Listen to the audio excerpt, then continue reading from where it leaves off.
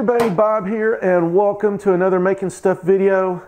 Well today the contest deadline has arrived so that means it's time once and for all to find out if my cheap nail gun can make it through an entire box of nails without breaking.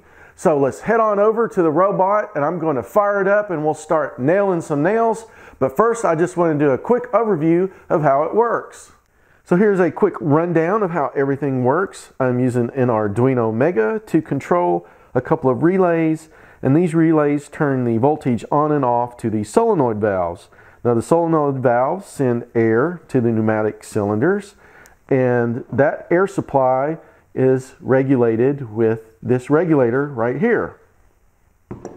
And since things can get ugly really quick with this application, I've also added an emergency stop switch. So the arm that the nail gun is mounted to is controlled by two pneumatic cylinders this one will raise and lower the arm, and this one will pull the trigger, which will cause a nail to be fired into the wood. Now to keep a nail from being fired in the same place over and over again, this whole assembly is mounted to two linear slide rails so that the platform can be moved.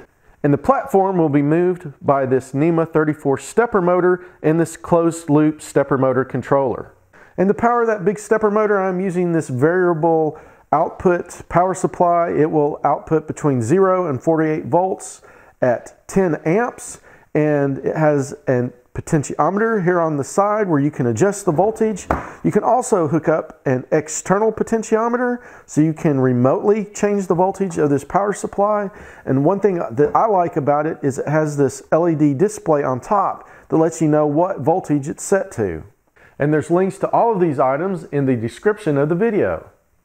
All right, for the nailing, I'm using a Central Pneumatic nail gun. So I'm going to use Central Pneumatic nails.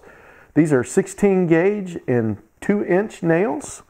And I will be nailing them into a pressure treated 2x4 and a half inch piece of plywood because as you can see here, the nails are just a little bit longer than the 2x4 and I don't want to nail my 2x4 to the table with hundreds of these nails because I'll never get it off of the table.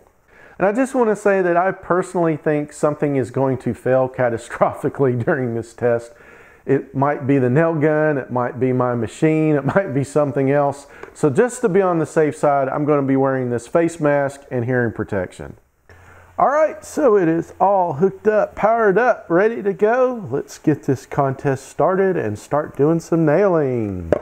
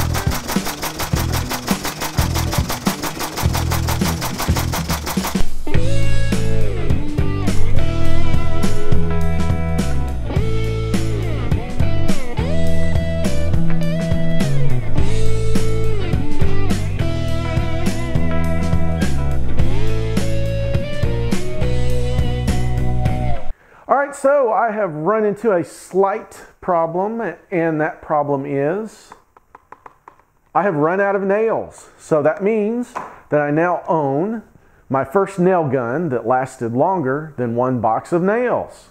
Now it took about two hours to run all these nails through the uh, nail robot, and it was a total of 2,500 nails.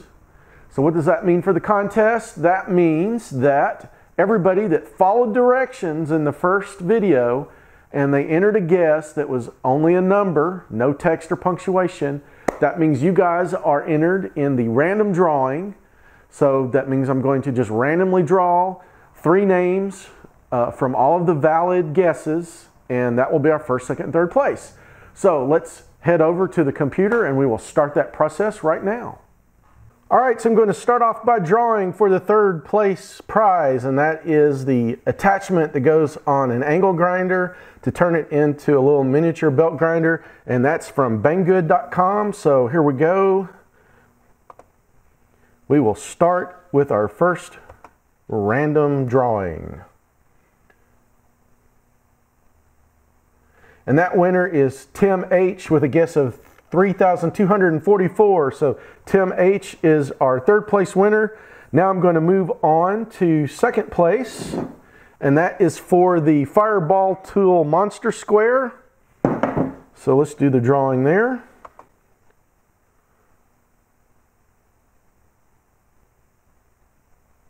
And that is KD with a guess of 2310. He is our second place winner. And now we will do our first place. First place grand prize will be the Fireball Tool Mega Square. So here we go, drawing for that.